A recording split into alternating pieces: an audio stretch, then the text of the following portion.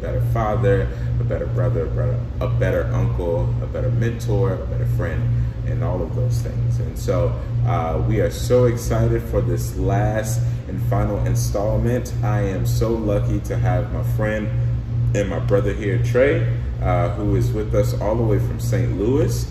Um, and so we're grateful to have him. And so, Trey, just take a moment to introduce yourself to the people, tell them what you do. Cool. Hey everybody, name is Trayvon. Go by Trey, as you can hear. Uh, been knowing Dennis for the last um, six or so years since I uh, first started college here in Chicago. Non-native to Chicago from St. Louis. Um, Cardinals, not Cubs or White Sox. That's it again. Um, yeah, I, I uh, live in St. Louis. Uh, I work as a policy advocacy fellow, um, the police reform, public safety transformation space. Um, so never a dull day there. Um, I'm super excited to, to be here and to talk with you all and Dennis.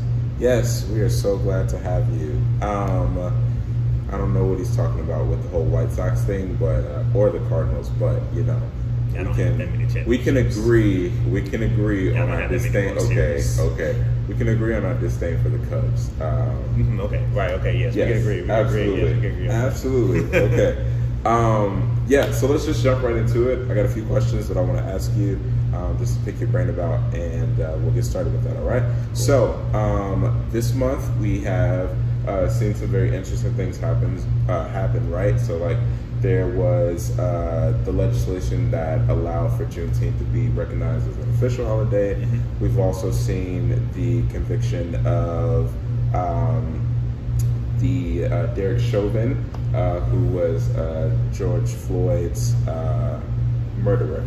Yeah. And so um, we've seen a lot happen, especially in the last year alone, uh, since the George Floyd pro- protests, um, of people, you know, talking about justice and it being a hot topic, right? And so um, my question to you is, is that do you feel hopeful about the current trend of justice that we see? Or uh, if so, or if not, what do you think needs to happen to push the needle further in the right direction? Yeah, um, I think that justice, what that's going nowadays, is uh, both good and bad, um, or not bad, good, and also there's like some room for growth. And there's room for some deeper conversations around how we can actually structurally change yeah. um, our societies. I think on the one hand, um, it's good that nowadays most people, whether you're you're black, white, or whatever, you know, where you're from, at least in America, you have access to like so much information. It's kind of hard for people to not know about segregation, you know, slavery, the legacies of slavery, um, racial inequities that exist today. Um, you know, if you, if you don't know about those things at least a little bit, you're probably choosing to Absolutely. not know. Um, Absolutely. So uh, that's a good thing that, that that information is being prevalent. I think a lot of our political conversations, a lot of our, um, uh, and I mean, I'm, we may live in a bubble, but like social media and, and a lot of the conversations we have online, um, it's geared toward, you know, justice is geared toward um, siding with those who are oppressed, siding with those who are on the uh, bottom end of things. Um, I think on the other hand, there's a few things that's happening that's like not so good. I think, you know, with the proliferation of like social media and um, just like the access to information that we have nowadays through the internet, um, there is just a lot of room for like a lot of superficiality when it comes to um, justice, quote unquote. Uh, I think the legislation in Juneteenth is good in and of itself, but it is something that doesn't really structurally structurally change. I think there's an argument to say that it helps like set the precedent precedent as a nation to like change the mental models of people like across the country. However, it really doesn't get at the root of like why we have inequality, which is like you know, you know we have we don't have affordable housing, we don't have equity, in education, we don't have good healthcare system. You know, basic things I think that we all need yeah, to, to, live as people. Um, so I think there's like a lot of room for like people to like post on social media, say that they're for justice, but not actually like be involved in the work personally in their work like that's challenging, like white supremacy or challenging like these systems. And then also I think another area of room for growth is even when we do get like semblances of like instances of like true justice. Like for for instance, like Derek Chauvin was just know sentenced to 22 years in prison. Um, that instance in of, in and of itself, like, well, of course, I don't really know what justice means. You know, like, I mean, George Floyd, is, or yeah, George Floyd is dead. Like, he's, he doesn't get his life back. Absolutely. Sentencing Derek Chauvin to 22 years really doesn't do much. You know, I mean, it gives maybe it gives some peace to the family, but that really doesn't solve much. And you kind of see sometimes like systems give up one of theirs, you know, as a scapegoat to say, oh, we gave him this 22 years. You know, his even his own police chief, you know, was saying things against Absolutely. him. You know, they kind of like threw him to the dogs. You know, and kind of use him as a scapegoat to have like to shield themselves from like larger conversations Yeah. about how the whole system is is implicit in the murder of George Floyd and how there's multiple people, and institutions that should be held accountable and taking their power away from them and money, you know, to Yeah. to think about these things. So, um, so yeah, you kind of have like both people who are like really don't know superficial, you know, social justice people, and also like just mismatched or misaligned, like actual like structural changes that aren't really what we're asking for. You know, we're asking for jobs. We're not asking for 22 years. I mean, like maybe that's good for some people, 22 years in prison for their show, but like that's just one instance of like how many. Absolutely. So, um, Yeah. so yeah, some of my thoughts on that. Yeah, no, I, I agree. Um, I think that like we've seen a lot of novelty, you know, in the last uh, year, especially.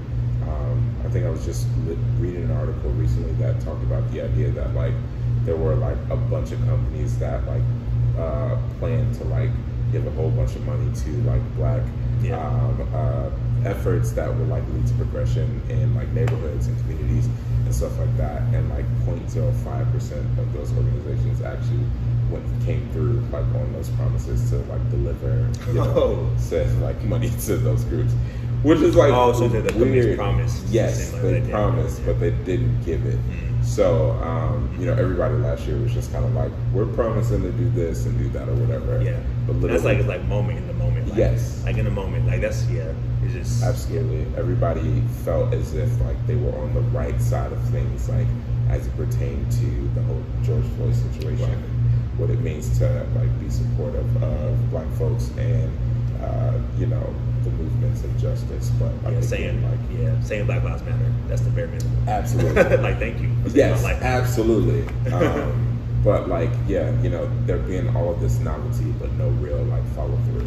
Um, and so, yeah, I think that I agree. You know, in a lot of ways that like there's a lot of room for growth um, overall, um, which just kind of like leads to uh, my next question, and it just kind of is. Uh, how important is it for us as uh, black men to come alongside others in the other movements uh, happening around us? And are we as supportive as we can be to those other movements? Mhm. Uh, I think black men are um, always pushed within black communities as like leaders of like families, as the you know um, the ones that set the precedent for how we you know go about as like families, as communities, as church community. Um, a lot of our leaders are men. Um, a lot of our pastors are men. Um, a lot of our teachers, writers are men, black men um, within the black church, within the black, black community. Um, I think sometimes that reality can get in the way of us actually showing up for those who need us, you know, Yeah. in, in the space. Um, talking about black black women, um, those others you may not, you know, agree with, like black trans people, like they are people as well. They're God's children Absolutely. too. Um, you know, those who are not black men, um, and those who don't conform to what we think of as black men, as this like macho, you know, pro, pro, provider, protector of his Yeah. family. Um, if we don't show for those people, then like we're not following. First, we're not following the teachers of Jesus. You know, one who, you know, naturally gravitated towards those who are less and least in society. Yeah. Um, I think, you know, looking at our past movements, you know, we can say without a doubt that black women were the ones who led the structural changes of, you know, those movements. Like, yes, the face may have been like black men, but um, when you look at the background, look at all the work that has been done, look like the strategies that were implemented, all came from black women. Um, black women, you know, keep families together. You know, they are they give life and they keep life. Um, so yeah, I think we can do a lot of work showing up for other groups and other people.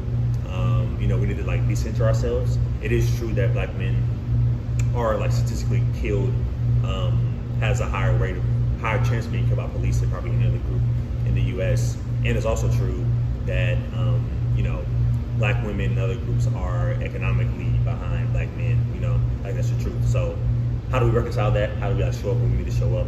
How do we not scapegoat into arguments like, oh, you know, if we had yes, we need black fathers back in the house. That's the truth. You know, and there's like issues around like you know, fatherhood and how that's affecting black communities. Also, the reasons are deeper than that. Yes, and they're like, yeah, that's I feel like that's like very superficial thing to say sometimes, you know, to, to arguments around like how do we structurally change our, our communities. I mean, there are plenty, plenty of families with like two parent households that are still struggling and are still way behind and still Absolutely. You know, like what's the difference? So, um, so yeah, like, I feel like we, we need more nuance. We just need more. That's good. We need more education. Yeah. Like we need to like not make things so simple stop using arguments, just simple arguments to like big complex things. You know, based on that's how things always have been, or you know, or shutting down black women's ideas, or you know, not letting black women lead, um, and like taking power away from ourselves. You know, we have a lot of power in the black community, so how do we like kind of lessen ourselves and decenter ourselves and give up power so that others can have voice to issues, and we'll all be better for it. Yeah, So, yeah, that's really good. I think that that's super great. Um, just kind of moving on to our next question. Uh, in what ways have you seen yourself deeply affected by uh, situations of injustice around you? Um, I think growing up as a young poor black person, you are like always exposed to trauma. You're always exposed to, um, you know, injustice, or um, you see due to like lack of economic opportunity, lack of just you know education, um, your friends kind of turn to illicit things, or you know, go down the path of um, friends and family go down the path of you know that is not probably best for them and like their future. Um, also, I did grow up in Ferguson, Missouri too, and you know the incident of Michael Brown being shot and murdered by um, Darren Wilson, a police officer in Ferguson, Missouri, um, was crazy, and it was like a lot for me and everybody that lived there and the world, you know. Um, while that was close to me, I'm also, of course, as a black person, affected by murders like George Floyd and and Breonna Taylor um, and all the other black people that are like constantly killed and surveilled, you know, um, by police. So, uh, so yeah, I think overall, like, there's a lot of trauma being a black person. Yeah. uh, in society that has personally like deeply affected me, and it's kind of helped me kind of shape my passions and like what I want to do. You know, working in like you know police reform and um, working in how to build better systems for us. So For sure. Yeah, I think for me, I very much so resonate a lot with that. Um, definitely growing up in a very similar background and, and seeing a lot of that as well, but like also too experiencing a lot of um, or seeing a lot of the situations that have happened with other black folks like around the country as relates to police and um, you know just feeling deeply affected by um, you know all of this kind of like surface out of you know um, these moments and, and these times. And I think that um, a lot of them a lot of them have affected me like in a lot of very deep ways.